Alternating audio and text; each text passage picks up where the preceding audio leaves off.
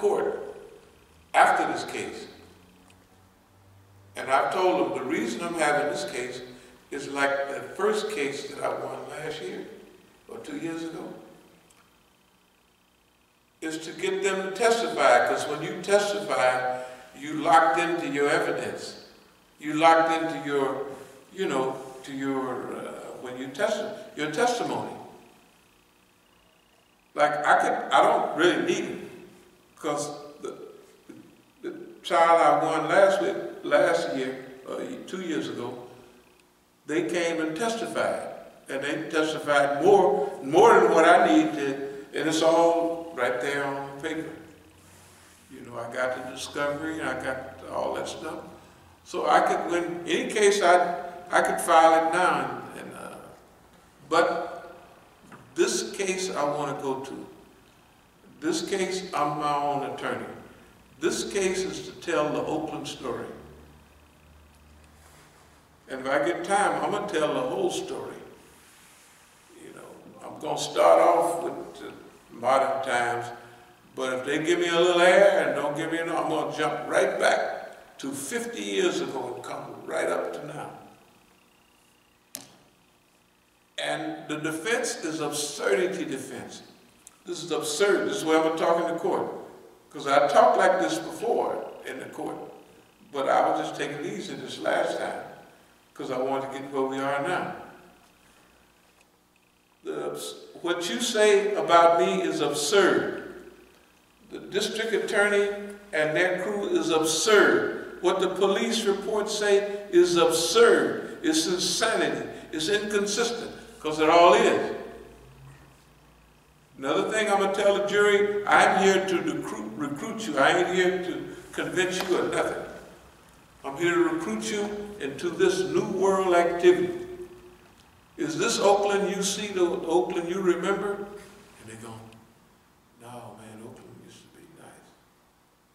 Now it looks like a third world. Some part of it looks, well, anyway, one big, some streets are so long, homelessness, homelessness, homelessness.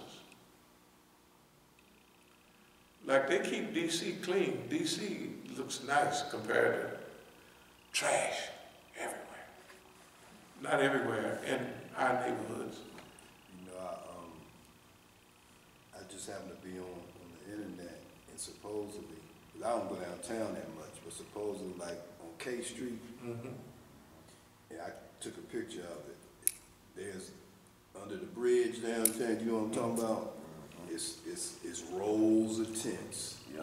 where, you know, describing exactly what you're talking about. And if you don't go down there, you wouldn't know it, it exists. You know it's homelessness. Unbelievable. But, uh, Dresses and everything. huh? Dresses, they, dresses lined up. It's unbelievable. I go down there too, I see the stuff, but for California, it just, it doesn't, Right. that's twenty and California is eighty-five. Right, Because remember the weather, right, simply, right. if you can get out to where it's good weather, like, uh, this weather the last few days is ridiculous for DC. Seventy degrees yesterday or something, seventy-one.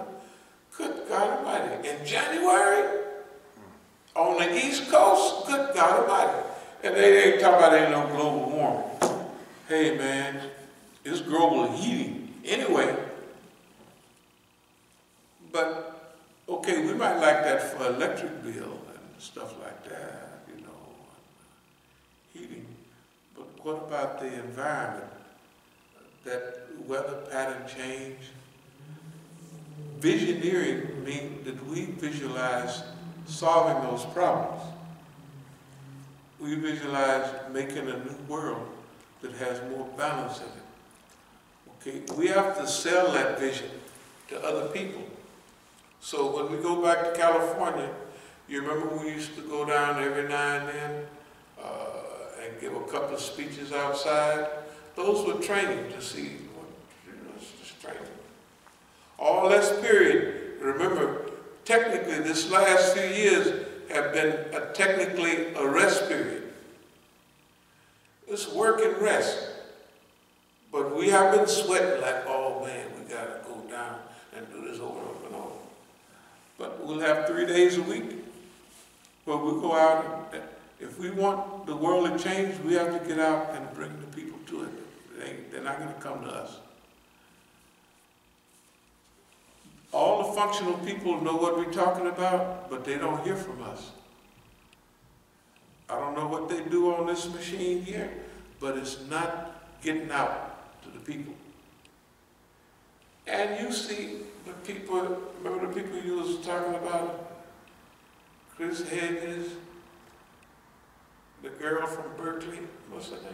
Um, Michelle Alexander, Michelle Alexander. No, that's Michelle Alexander. She Um, wrote, Amy Martin, Abby Martin. Abby Martin, Abby Martin, Michelle is the, the, the, the, the woman Right. that wrote, uh, Um, I think it was Jim- uh, about slave, the new Jim Crow. Yeah. She wrote the new Jim Crow. But And they connected with everybody. they connected. They with everybody. connected with everybody, and They- some of the Muslims, some of the, Uh-huh. some of the Muslims that, that, that we know, they're connected with, they, they appear on everybody's shows, or they, you know, and pe, like I said, some of the Muslims that you know, Mhm. you know, are connected with these people. But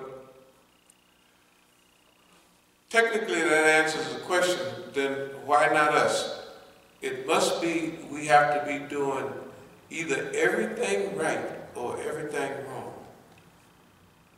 For us not to be invited or the experts on Ooga Booga land or nothing. Everybody they got talking what, ANSWER? Do they know us? Of course they did. We had our biggest demonstrations with them. You hear them talk? You know, uh, I never told y'all about uh, the little thing that was supposed to be going on with ANSWER. We met here a couple of times. ANSWER went over to Iraq and they come back, now the ex-attorney general was the head of it, Ramsey Clark. They come back talking about a good subject, depleted uranium.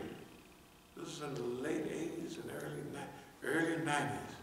It was at early 91, 90, 93, 94, they was talking about depleted uranium after the, the war. It was true. But they never, when they connected with us, it's during the period where they thought that we would be under total control. Abdul Malik them was in power over out there on the west coast.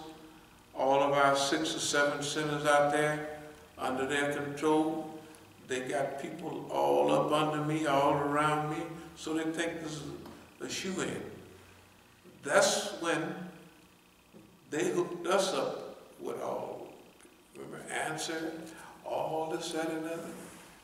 They said, we'll hook him up now because we'll have control of it. That's what they thought.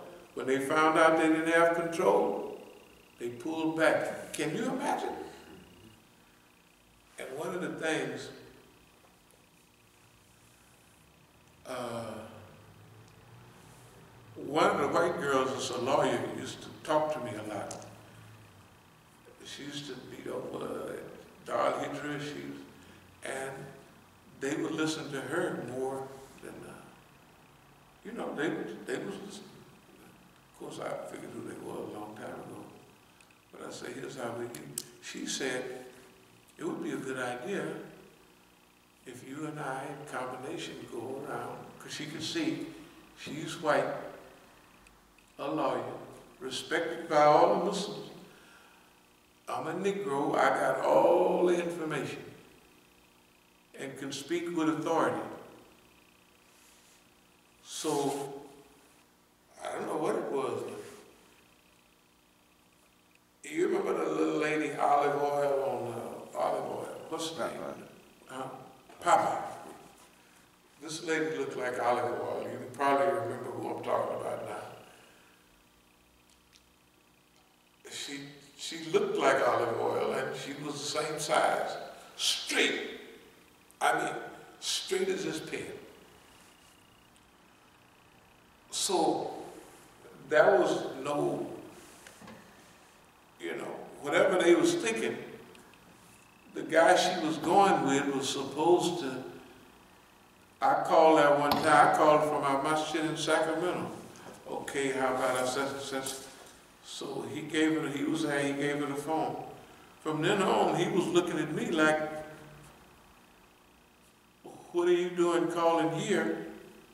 And I'm trying to let him know, this is the number on the card that she gave me to call her about this stuff. Not only her and him, but all of the ANSWER crew was like, uh, what's going on? I said, man, y'all got to be crazy. I said, we don't do that in Islam. You know, in other words, it was always something kicking up that didn't have no relationship to anything. Van Houten was the name, Myra Van Houten, something like that. I don't know if y'all, yeah, the, talk, the skinny lady, she was skinny. I ain't talking about nobody, she was thin as a rail. So everybody knows that we're aware of the environmental circumstances. And with this last thing that happened in Iran, I don't know why. Can you imagine? They called everybody but the brother. I have no idea why they do. Well, I do have an idea. But anyway, uh, that's insanity. I'm going to try to speed up. I'm still on page number one only halfway. Uh,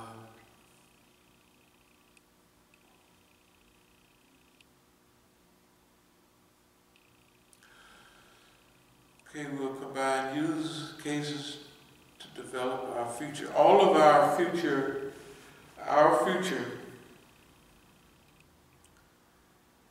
is based on where we want to be, where we think the world should be.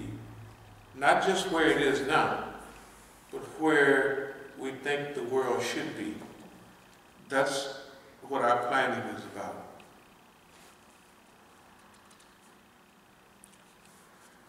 Uh, I was going to talk about destabilize humanity with. Uh, they not only destabilize, I'll just say briefly, they not only destabilize other countries, but they destabilize the people too. How? With rapid change. You know, things, this has been talked about in Alvin Toffler's book like Future Shock and all that over 50 years ago. But to change so quickly that whoever manages to change manages the stability of the society. For instance, they could put a gadget on that computer that could hold a hundred times much information. They could do it today. They got it. They don't put it on there. Why? The next one they come out with, they'll put ten times the volume to hold ten times. Then that, they'll say that's old now after you, you know what I mean. Planned obsolescence, right? Let them do it. That's how the United States got behind on almost everything.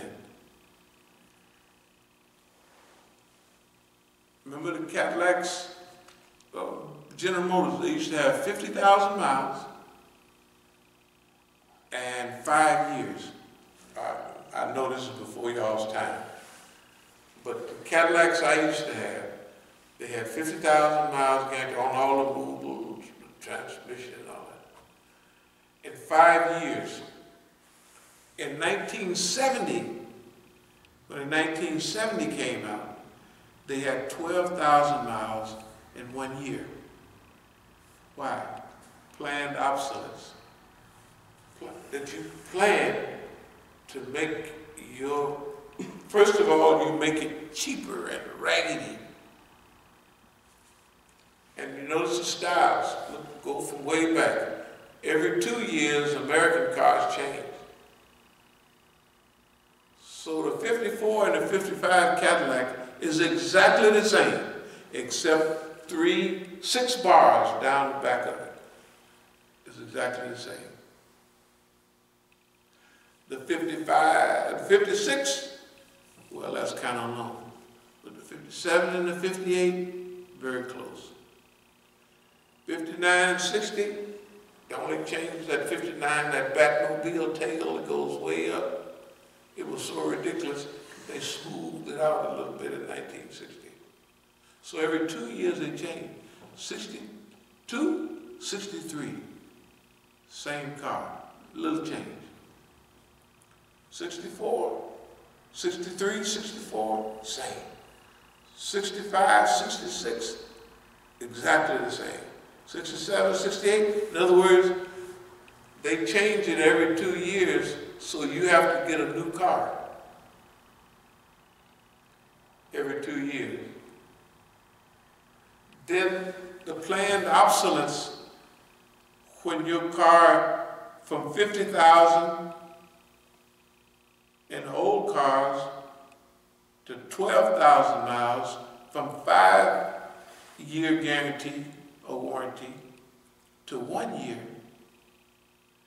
And that's 1970 Cadillac, you could walk up to it and punch a hole in it almost. Not the 69, not the older ones. You couldn't do that. Ah, they was made, made out of date. Now, just for history's concerned, they had them big giant engines, remember 472 and 500 cubic inches. Good God Almighty. 500 four barrel carburetors. I guess people don't remember what a four barrel carburetor is, but it's four jets. The Cadillac got nine miles in the city and 11 miles on the highway, maximum. That's if it ran good, got a good tune-up. High mileage, cheap gasoline, remember gasoline? 35 cents, 30 cents a gallon, right? When everything changed, that's when the world caught up with white Toyotas. First Toyota I seen, one of my girlfriends had a little Toyota.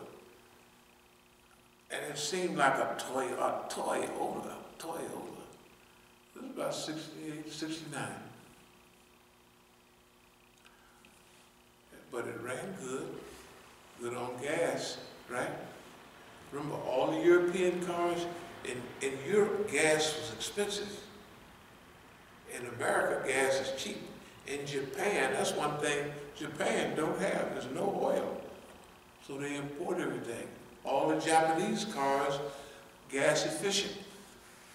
Uh, look at the American cars. Think back in the early 80s, 70s. Look, at the cars got bigger each year. If you look at that 79, 78 Lincoln, that boy goes all the way down the street. And the 85 Brougham, the last one is a block long with the back little side window. They got to get rid of them. Why? Toyota, Nissan, everybody is buying them cars because they can't afford. So America bankrupted GM themselves. They did it to themselves. The foreign policy of the United States, they assassinated the brother, they put themselves out of business. Iraq says what? You got to get out of Iraq. Whether they go or not, when they go, they're going to go eventually. It's no problem. Don't worry about it. What did they want? What did Iran want America? Out of the Middle East. What did all the Arab countries say? Same thing we say. The U.S., they've been listening to these tapes. If you get out of line over there, they're gonna hit Bahrain, they're gonna hit, and they looked at the map, did you see them showing the maps on TV last week? When they showed maps of the Middle East? There's a US base here, there's a US base there, they had the maps. That's true. All within Iranian, da, da, da, da. A- a- Whatever they talk about this airliner, whatever happened, the US with that Iron Dome system that they supposedly gave Israel, it wasn't working because they knew that those missiles was coming, right? And they didn't shoot none of them down. Somebody's telling them to fabricate.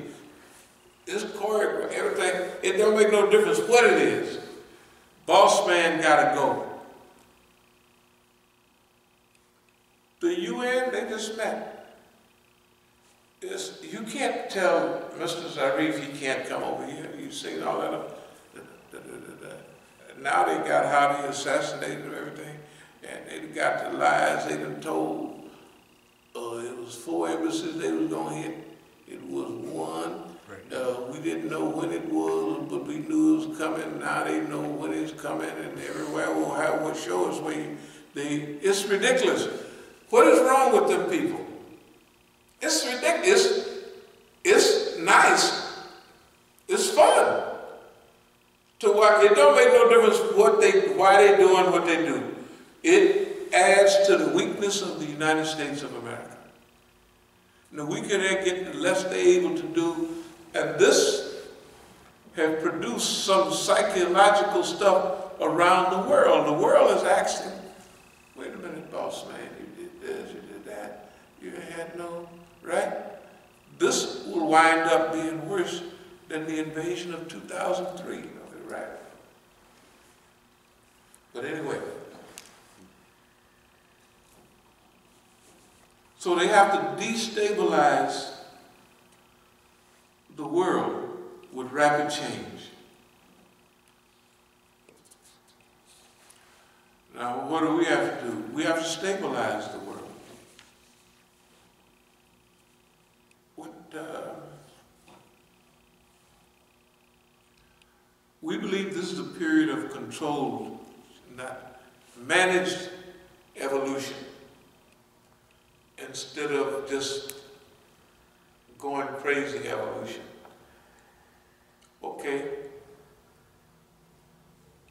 You leave them alone to do what they want to do.